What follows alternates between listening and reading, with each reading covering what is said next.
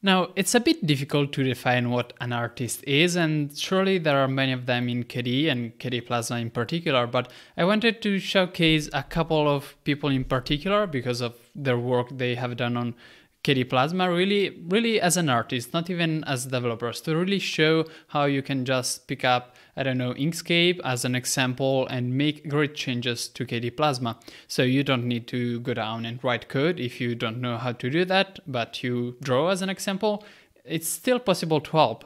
And I picked uh, just a couple of uh, people that uh, I know in the KDE Plasma project. Surely there are many others, uh, but you know this video can't be as long as I wanted it to be. But let's pick a couple of people. So the first one is related to wallpapers, and if of course Ken Vermette, and uh, so all of the wallpapers, uh, at least from 5.0, I don't know before that, but at least from 5.0 are done by Ken Vermette and uh, this was 4 and then the style changed. And the style changed and started using triangles and with shapes. These are the first uh, nine wallpapers uh, from KDE Plasma and uh, you can see really the triangles and it has improved. As an example you can see here these are the following ones I remember distinctly Opal uh, because Opal is actually the first wallpaper I ever saw because I joined, uh, like, I started using KDE, not joined,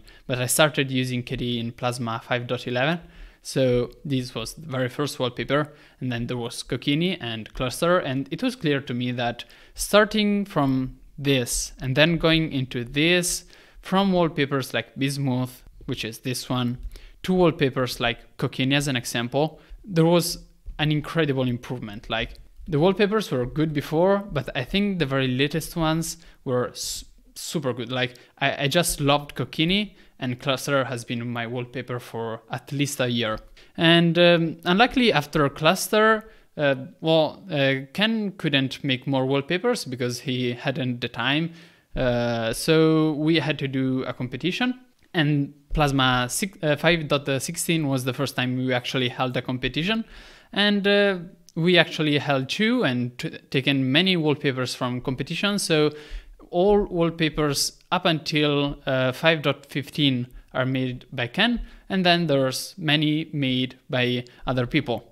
But then for the very last wallpaper we have, this is Cluster. I mean, it, it's beautiful. It's just beautiful. And then Ken managed to get back to us. This is the website, which is super nice. And uh, it did this one, which is the latest one, 5.24 for the next release. So nine release later, we still have Ken Vermette. And uh, you can see the whole process, which I think is really nice. He even live streamed it. It wasn't like the first time. Even Holder wallpapers, I remember there was a live stream. And uh, starting from a drawing to making the wireframe, actually, this is entirely done from this point in uh, on in Inkscape and Krita uh, for the minor adjustments, but nothing of this is 3D, it's all hand drawn. And then you can see that you get the uh, triangles, it's still triangles. That's why we could keep a nice distinctive um, style for the Plasma 5 series that will probably work with the Plasma 6 ones. And then the final wallpaper, which is very nice. Like, and also after coming back, he also did uh, new icons. As an example, these are the new ones. These are the one being worked upon, and uh, new uh, there's a new entire pipeline about icons because uh, it's not as easy as it seems to do especially like folder icons because sure you do the folder but you can't do all of the folder manually. Uh, maybe the one with emblems on it you need to automatically generate them especially the ones uh, with different colors. So you need a pipeline to actually generate all of them. And uh, well Ken did a new style for the folders and also a new pipeline. So that's impressive. And then, sorry, this is the wrong one. There's about mockups. So that was wallpapers, and then there's uh, mockups. And doing mockups is extremely important because sure, uh, you're not actually doing the code that will result in uh, those mockups being implemented, but in order for a developer to actually implement something, it's extremely useful to first of all convince him that it's a good idea by presenting a well done mockup. if you take something that is, as an example, like this one, uh, well, you're not going to convince anybody. And yes, that was my drawing. So Mockups uh, are done again by many, many different people, and there are very good mockups done by almost all members in the VDG except me. But uh, Manuel is, the, I think, one of the VDG members that did uh, not most of them, but surely a significant portion. This is the ones about Dolphin. Usually, since uh, he also shared the resources, those were then taken and modified by other VDG members. As an example, we get here. Uh, it was uh, the task about trying to find a new style for Breeze. Uh, we eventually choose Blue Ocean, but uh, this is the current theme. But it wasn't so clear, and uh, well, many styles like uh, Manuel did a mockup, and then many styles were forked by that side, and eventually Blue Ocean, um, this one, I think is directly the work of Manuel uh, it surely did Ocean. I don't remember Blue Ocean. Maybe it's a more collaborative work. Right now, I don't remember. But uh, if you go see all of the tasks in Phabricator related to doing actually uh, mockups, which is what I searched here, mockup, you will see that many of them, like the the one I showed you here, are done by Manuel and others. Sure, I don't want to exclude anybody, but many of them. And then there's also this one, the Blue Ocean update for Breeze icon, which is again made, made by Ken Vermette. And this is the initial design proposal if uh, it loads. Thank you. You can see that there was a bit of work comparing Oxygen, Windows 11, the current Breeze, and then Blue Ocean with um, accent color and many proposals. And uh, the idea is to make it like a bit more rounded, maybe a bit more modern.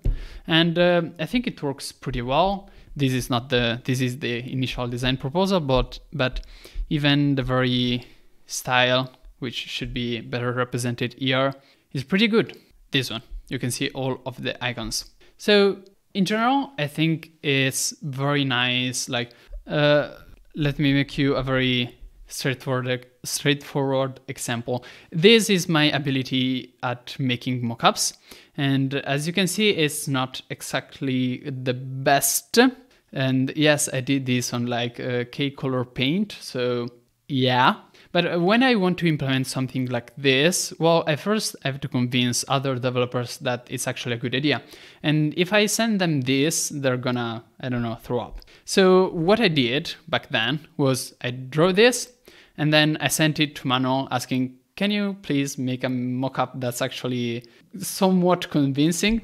And he did it.